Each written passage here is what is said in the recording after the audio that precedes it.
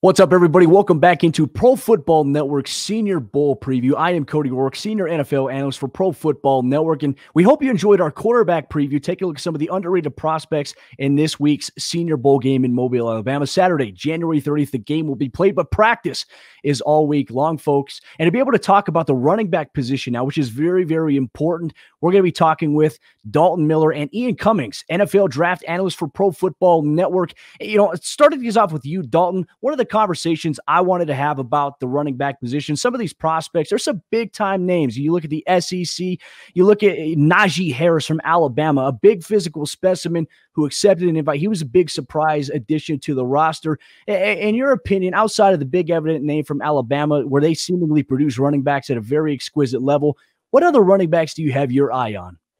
You know, it's a really good group of guys. You have guys like Trey Sermon, Michael Carter. Uh, Kylin Hill is somebody who a lot of people liked coming into the year. Um, he only played, I believe, one or two games and then kind of uh, got out of here and, and opted out for the rest of the season. Showed he could catch the football a little bit um, in that Mike Leach offense and then bounced. Uh, so it'll be interesting to see those guys. Uh, but the one guy that I'm really interested in and one guy that I think can really show out here at the Senior Bowl is Demetric Felton. That is UCLA running back. He plays in the slot quite a bit. He is a legitimate receiving weapon on the outside.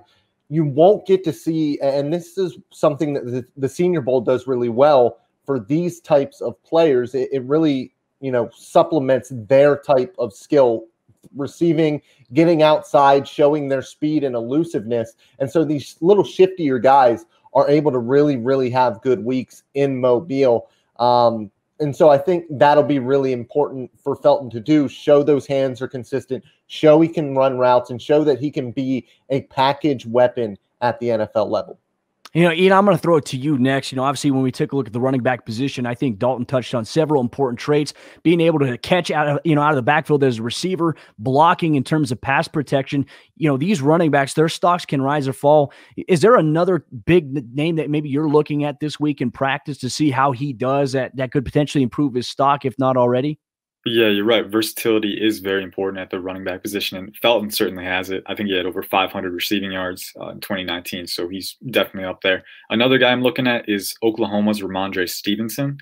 Um, he's six foot, 246, I think. So he's built like a power back. You expect him to be a power back, but I think he's a little slept on. I think he has some traits that translate beyond that role. Uh, he has really good contact balance. I think he has good straight line explosiveness too, and he also has some elusiveness too.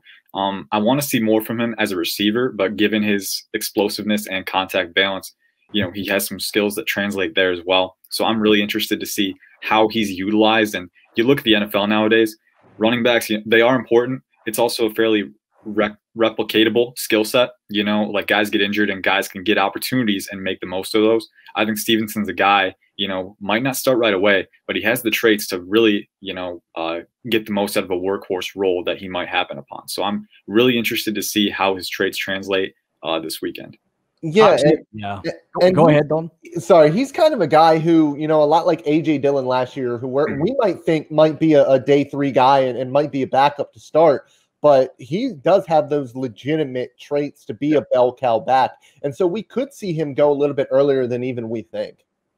Well, I, I think one of the things too I want to throw at you guys too, how often now in the NFL have we seen teams that usually have used one traditional rusher. I mean, they've embraced a running back by committee approach. I mean, maybe the exception is the Tennessee Titans with Derrick Henry because he's probably the biggest, bulkiest back right now in the NFL. But now we're starting to see how valuable franchises really look at having a guy that could do it both as a receiver, as a rusher, and also a guy in pass pro. But they don't want to put that just on one guy. They want to divvy that out amongst a you know a couple of guys there. So obviously, when it pertains to the running back position, we're going to be listening to our good friend Tony Pauline, our NFL draft insider here at Pro Football Network Network what he has to say this week at Mobile, Alabama, as it pertains to the running back position. But be sure to check us out on our next series where we take a look at the NFL, uh, potential NFL wide receivers here at the Senior Bowl this week at practice.